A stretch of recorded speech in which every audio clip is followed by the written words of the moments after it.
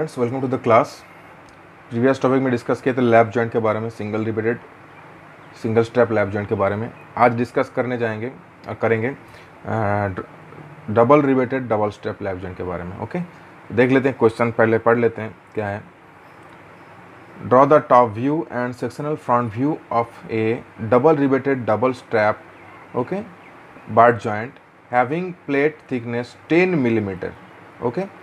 So so at least three row of rivets it's a chain in chain formation okay? Chain riveting chain formation. तो चलिए देख लेते हैं calculation पहले देख लेते हैं क्या क्या निकालना होगा। आ, उसके बाद जो ड्राइंग पार्ट में जाएँगे सीट में कैसे ड्राइंग करना होगा। ओके तो कैलकुलेशन देख देख लेते हैं। सबसे पहले पता है कि जैसे हम लोग को डी निकालना है diameter of the rivet okay diameter of the rivet निकालना six root over of T पता है सबको। उसके बाद जो diameter of the rivet hole निकालना है ठीक है कैपिटल डी तो डायमीटर ऑफ़ द रिवेट क्या होगा? स्मॉल डी होगा और diameter of the rivet hole क्या होगा? कैपिटल डी होगा। तो रिवेट होल निकालने के लिए जो आपका रिवेट का डायमीटर निकल, निकला है, जैसे कि यहाँ पे 18.97 निकला था, उसका अप्रॉक्स बना वैल्यू लेकर 19 कर दिया गया है 19 मिलीमीटर ठीक है? और कैपिटल डी में क्या होगा? 19 प्लस वन मैंने बताया था कि वन टू वन लेना है, ठीक है होल के लिए। तो कितना हो जाएगा? बीस। नेक्स्ट आते हैं। पी आर ठीक है, क्या बोलेंगे फिर? That is row pitch distance between the consequent जो कि ट्रेवर्स ट्रेवर्स डिस्टेंस है ट्रेवर्स जो गैप है बिटवीन टू रिवेट्स का, ठीक है, उसको बोलेंगे। ठीक है तो रो पिच क्या है? देखिए फॉर्मूला क्या है आपको? पॉइंट एट पी तो point eight into P that is P पहले पी जो निकला है आपका उससे पहले पी निकालेंगे, ठीक है? बाई मिस्टेकनली जंप हो गया रो पिच पे। तो पी पहले निकालना होगा। पी क्या होगा? थ्री डी होगा। Three into D diameter of the rivet hole, sixty millimetre, okay? तो पॉइंट एट इंटू पी कितना हो रहा है? फोर्टी एट मिलीमीटर हो रहा है रो पिच, ओके? नेक्स्ट आते हैं वन पॉइंट फाइव डी, ठीक है? वन पॉइंट फाइव डी क्या है? जो centre point, centre of the rivet से आपका नियरेस्ट प्लेट एज तक जो डिस्टेंस है, उसको वन पॉइंट फाइव डी के हिसाब से लिया जाता है, ठीक है?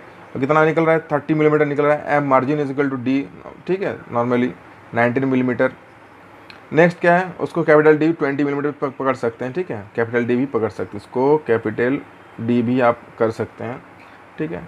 नेक्स्ट क्या? Width of the rivet rivet यहाँ पे देखिए, पिछले बार भी दिखाया गया था कि snap head rivet basically use किया जाता है। स्नैप हेड रिबेट का जो नमन किया गया है और उसमें बेसिक डायमेंशंस यूज़ करते हैं। बेसिक जो आपका जैसे कि ये विद ऑफ़ द रिबेट है रिबेट हेड का चौड़ाई कितना होगा? 1.6 डी ठीक है? Width of the rivet head 1.6 D that is equal to 1.6 point six into two twenty that is equal to thirty two millimetre, okay? Next क्या है? नीचे से जहाँ सेंटर पॉइंट से आपको, इस पॉइंट से आपको राउंड करना है तो कितना होगा? पॉइंट वन डी गैप लेके आपको सेंटर पॉइंट निकालना है, जहाँ से उसको कंपस बैठा के कंपस का कांटा बैठा के, और आपको ये हेड बनाना हेड फॉर्म करना है। तो पॉइंट वन डी जितना आपका होगा, उसके हिसाब से आपको लेना होगा, ठीक है? बेसिकली आपका 1.2 आ जाएगा, ठीक है? पॉइंट वन डी मतलब 1.2 मिलीमीटर ऐसे कुछ आ जाएगा 1.2 या फिर 2.2 ऐसा कुछ आ जाएगा। ठीक है तो नेक्स्ट देखते हैं जैसे ये thickness of the cover plate T two हाँ एक बात अभी, जैसे कि प्लैप जॉइंट में क्या था? टी टी था ओनली ठीक है? सिंगल रिवेटेड सिंगल स्ट्रैप और सिंगल कवर लैप जॉइंट में जो था टी था। ठीक है मतलब टी मतलब ओनली थिकनेस था थिकनेस ऑफ़ द प्लेट था, ठीक है? Only thickness of the plate था, ठीक है? लेकिन अभी जो बाट जॉइंट में यूज़ होगा, ठीक है? बाट जॉइंट में जो यूज़ होगा, क्योंकि डबल रिबेटेड डबल स्ट्रैप है, ठीक है? डायरेक्ट डबल स्ट्रैप में गए लेकिन अगर सिंगल स्ट्रैप होता तो ओनली टी वन का बात होता, ठीक है? और यहाँ पे क्या होगा? टी टू का बात होगा। टी टू होगा यहाँ पे डबल स्ट्रैप के लिए। तो टी टू मेरा क्या होगा यहाँ पे? पॉइंट एट टी जो थिकनेस है थिकनेस कितना है?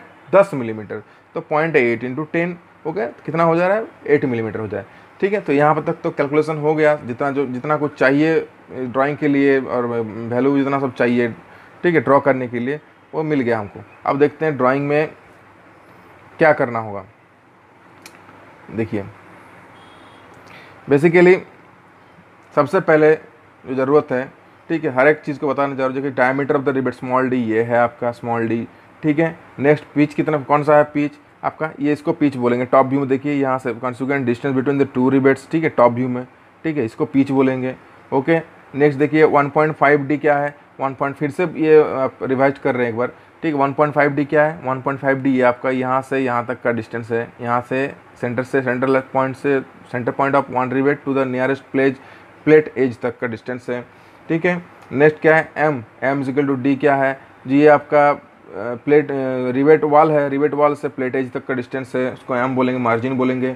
ठीक है width of the rivet that is a width of the rivet total head width okay next thickness of the plate T two this the thickness of the plate T two upper cover and the lower cover okay ये जो thickness होगा, ये thickness ठीक है? और ये thickness को T to बोलेंगे, ठीक है? डबल स्ट्रैप के लिए डबल रिबेटेड डबल स्ट्रैप के लिए इसको बोलेंगे। अगर सिंगल रिबेटेड होता है ठीक है? तो ऊपर वाला जो होता है क्योंकि सिंगल रिबेटेड सिंगल स्ट्रैप हो जाता तो ऊपर में दिया जाता तो ऊपर वाला क्या हो जाता? टी वन हो जाता है ठीक है? जब डबल स्ट्रैप यूज़ करेंगे तो टी टू हो जाएगा, दोनों टी टू हो जाएगा, जो कवर प्लेट यूज़ करेंगे दोनों का थिकनेस टी टू हो जाएगा। उसके लिए कितना हो जाएगा? पॉइंट एट टी जो फॉर्मूला है, ठीक है? और बीच वाला बीच वाला कौन सा प्लेट है? ऊपर वाला आपका कवर प्लेट हो गया, ठीक है? ये जो प्लेट देख पा रहे हैं, ये कवर प्लेट हो गया बाट जॉइंट में, ठीक है? और लेफ़्ट जॉइंट में भी वही होता है कवर प्लेट ही होता है। और बाट जॉइंट में ये वाला, बीच वाला क्या प्लेट है? इसको बाट प्लेट बोलेंगे, हैं?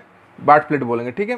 जो देखिए, दो प्लेट को जो बराबर से जुड़ा गया है, ठीक है?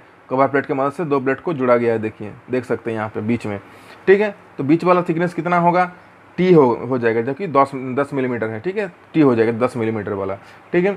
चलिए नेक्स्ट ये आपका फ्रंट व्यू में क्या ड्रॉ करना होगा? सबसे पहले सबसे पहले ज़रूरत जो ज़रूरी है, सबसे पहले जो ड्रॉ करना होगा, वो आपका है centre line okay centre line सबसे पहले ड्रॉ करना होगा, ना तभी आपको बराबर से आपको फ्रंट व्यू ठीक है? ये सेक्शनल फ्रंट व्यू एंड ये टॉप व्यू आपको मिलेगा बराबर से, ठीक है?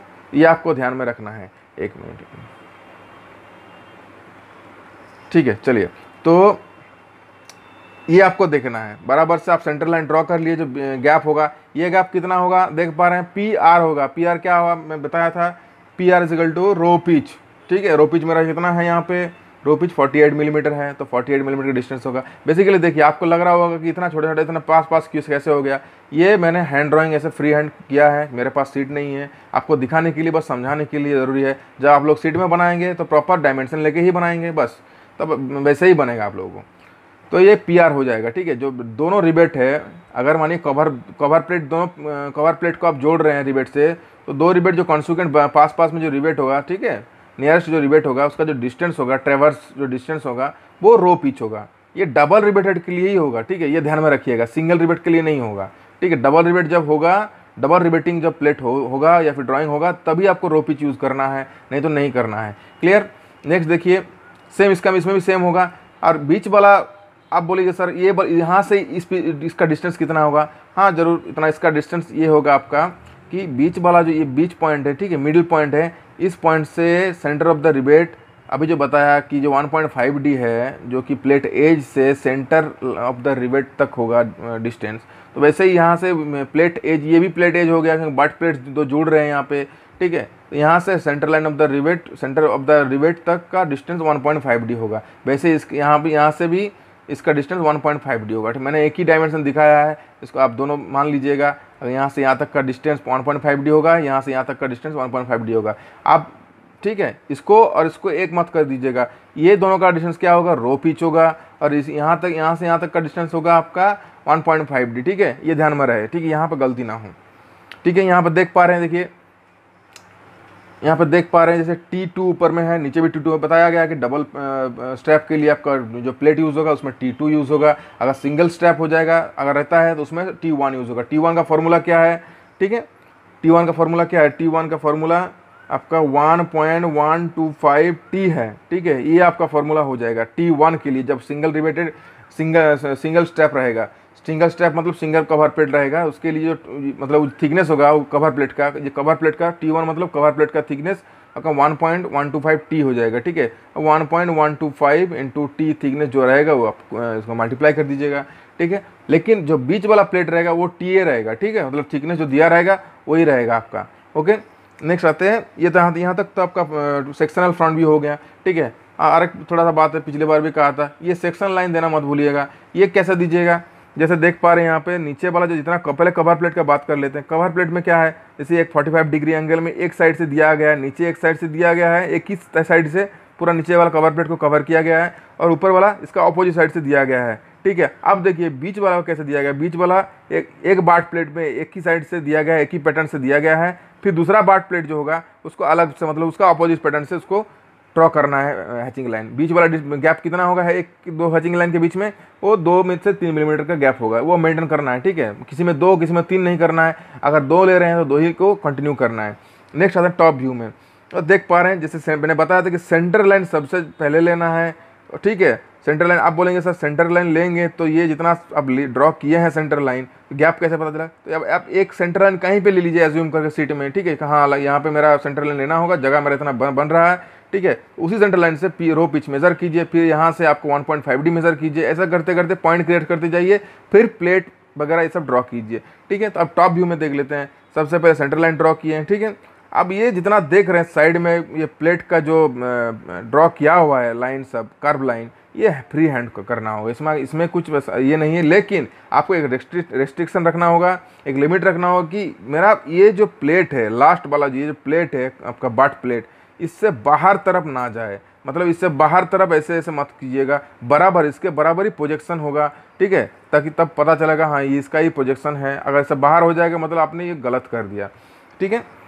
तो अभी देखना होगा, देखिए, सबसे पहले क्या करना होगा, आपको एक, जैसे ये प्लेट ये ऊपर वाला टॉप कवर प्लेट जो है, ठीक है, ये ऊपर वाला cover plate strap strap plate है, इसको सबसे पहले देख पाए, पा रहे हैं, ठीक है? क्योंकि ऊपर में रहेगा, ये ऊपर में है, इसीलिए वो व्यू हो रहा है, बराबर। इसीलिए ये पार्ट को सबसे पहले ड्रॉ कर लीजिए एक बार। इसे ऐसे हाथ से, इसे फ्री हैंड से कर लीजिए। अब ये दो लाइन क्या है? पिछले बार डिस्कस किए थे। दो लाइन आपका ये है, इस पॉइंट से प्रोजेक्ट होकर एक लाइन आ रहा है और इस पॉइंट से प्रोजेक्ट होकर एक लाइन आ रहा है। इसका एक एंगल कितना हो जाएगा? दस डिग्री हो जाएगा, ठीक है? दस डिग्री एंगल से इसको बनाना होगा। टेन डिग्री एंगल से इसको ड्रॉ करना होगा। ज़्यादा स्लोप नहीं होगा, एकदम बहुत ही कम स्लोप होगा। ओके तो अभी ले लिए, कुछ देर तक आपको पहले खींच लेना होगा, ठीक है? पूरा कंटिन्यूस नहीं लेना होगा। ऐसे सुटेबल लेंथ का पहले ले लिए, उसके बाद क्या करना होगा? इसको भी सुटेबल लेंथ का ले लिए, ठीक है? ऊपर वाला पार्ट ड्रॉ कर लिए, ऊपर जो ये पार्ट है, आपको ऐसे ऐसे कार्व करके इसे ड्रॉ करना है ओके वैसे ही क्या करना है जो जो नहीं देख पा, आप पा रहे हैं, जो प्लेट को, जिस प्लेट को नहीं देख पा रहे उस प्लेट को क्या होगा? हिडन होगा। इस यहाँ से डॉटेड लाइन ऊपर तक करना होगा, ठीक है? प्लेट को दिखाने के लिए। फिर ऊपर में इसे कार्व टाइप का ले जाना होगा। फिर यहाँ से यहाँ से इसका, इस, इसके लिए, इस प्लेट के लिए, ठीक है? इस प्लेट के लिए डॉटेड लाइन करना होगा। ये वाला लाइन किसके, जो दिख, दिखा, दिखाया जा रहा है मतलब जो कंटिन्यूस है, जो जो कि दिख पा रहे हैं आप, वो वाला कौन सा है? ऊपर वाला प्लेट के लिए जो डॉटेड है, और नीचे जो प्लेट रहता है, ठीक है? उसके लिए है, जो कि आप नहीं देख पा रहे टॉप व्यू में, ठीक है? तो उसके लिए डैश लाइन आपको ड्रॉ करना होगा, और ऊपर में जैसे कि इसका ड्रॉ किए हैं कर्व टाइप का लाइन वैसे फ्री हैंड इसको कर्व टाइप का ड्रॉ कर दीजिए, बस। और बाट प्लेट के लिए बीचों बीच यहाँ तक एक कंटिन्यूस लाइन लाइए और यहाँ से, ठीक है, ये जो प्लेट कवर प्लेट जहाँ से स्टार्ट करेंगे, वहाँ से उसको डैस्ट लाइन में फॉर्म कीजिएगा और ड्रॉ कीजिएगा। क्यों? क्योंकि बाट प्लेट जो है तो आप बीच वाला तो नहीं देख पा रहे हैं, ठीक है, दो बाट प्लेट को ज्वाइन किया गया है ओके तो अभी सेम इसको आके यहाँ पर ख़त्म कीजिए। ठीक है, नीचे वाला जो टॉप टॉप जो टॉप कवर प्लेट है, उसको क्या करेंगे? ऊपर वाला जैसे ड्रॉ किए थे, वैसे नीचे जब नीचे क्या करेंगे? नीचे इसको आके इसको कंप्लीट कर दीजिए, ठीक है? कर्व लाइन को कंप्लीट कर दीजिए। वैसे ही जो हिडन पार्ट है हिडन प्लेट है, ठीक है, जो नीचे वाला प्लेट है, नीचे वाला कवर प्लेट उसको भी डॉटेड लाइन कुछ देर थोड़ा देर तक मतलब थोड़ा दूर तक खींचिए, ठीक है? और इसको कंप्लीट कर दीजिए। एक बात ध्यान रहे, ये गैप आपको पहले मेज़र कर लेना होगा, पीच डिस्टेंस मेज़र कर लेना होगा, मानिए एटलीस्ट थ्री रिबेट्स आपको three rivets row row of rivets show करवाने के लिए बोला गया है तो आपको देखना होगा ये गैप मेरा सही बन रहा है कि नहीं। ऐसा नहीं कि आप मतलब बिना मेज़र किए पहले बना लिए आउटर कवर और बाद में पता चल रहा है कि मेरा एक रिबेट बाहर आ, आ जा रहा है टॉप व्यू से बाहर आ जा रहा है। ऐसा नहीं होना चाहिए। बीच में अंदर में ही रिबेट होना चाहिए। उस आप या तो एक काम कीजिए पहले रिबेट रिबेट ही बना लीजिए आप ओके पहले सबसे पहले रिबेट बना लीजिए। ठीक है रिवेट फॉर्म कर लीजिए उसके बाद लास्ट में ये साइड वाला जो प्लेट का जो व्यू है प्लेट का ड्राइंग है, वो कर लीजिएगा सिंपल है, वो और कुछ नहीं। फिर ये जब, ये जो देख पा रहे हैं, बाहर तरफ़ गया है, ये आपका बाट प्लेट का है, ठीक है? बाट प्लेट का भी ऐसे कुछ कर लीजिए, ऐसे कवर टाइप का दिखा दीजिए, बस और कुछ नहीं। ये आप हाथ से ऐसे फ्री हैंड से कर सकते हैं, इसमें कोई ज़्यादा परेशानी नहीं है, कोई एंट्री कैसी है ही नहीं आपका, बस, ठीक है? तो और कुछ यहाँ पे है नहीं। यहाँ पर रिबेट्स कैसे ज्वाइन ड्रॉ करेंगे? कुछ नहीं ये जो बाहर का जो सर्कल देख रहे हैं, वो हेड का है। अंदर वाला जो देख रहे हैं रिबेट का डायमीटर है सैंक का डायमीटर है। ठीक है? उसके लिए हिडन दिखाया जा रहा है, क्योंकि आप देख नहीं पा रहे हैं इसको टॉप व्यू में। वे सब में सेम होगा। ये पीच होगा, ये रो पीच होगा। क्लियर है? ठीक है? और डायमीटर जो है, इसमें मेजर कर लीजिए इसका हेड का। और अंदर वाला रिवेट का डायमीटर तो डी है, पता चल तो आपको है ही। Length of the cover plate हो जाएगा। ये ये जो पूरा लेंथ है, इसका लेंथ यहाँ तक से यहाँ से, यहाँ तक का लेंथ आपका कवर प्लेट का लेंथ हो जाएगा, ठीक है? लिख दीजिएगा L is equal to length of the cover plate बस यही है, और कुछ है नहीं, इसमें डिफिकल्टी है ही नहीं, आपको इजीली पता चलेगा। कन्फ्यूज़न रहे तो ज़रूर पूछिए, ठीक है? कि यहाँ पे सर समझ में नहीं आया, यहाँ पे क्या होगा सर, क्या नहीं होगा, ठीक है? कमेंट बॉक्स में कमेंट कीजिए, सभी छात्रों के लिए यही बोलूँगा, बस समझने की कोशिश कीजिए, नहीं समझ में आए तो हज़ार थाउज़ेंड टाइम्स आप पूछ सकते हैं, ऐसा कुछ नहीं, ठीक है? चलिए नेक्स्ट टॉपिक में आप लेके आते हैं, ठीक है? नया कुछ लेके आएँगे। Okay thank you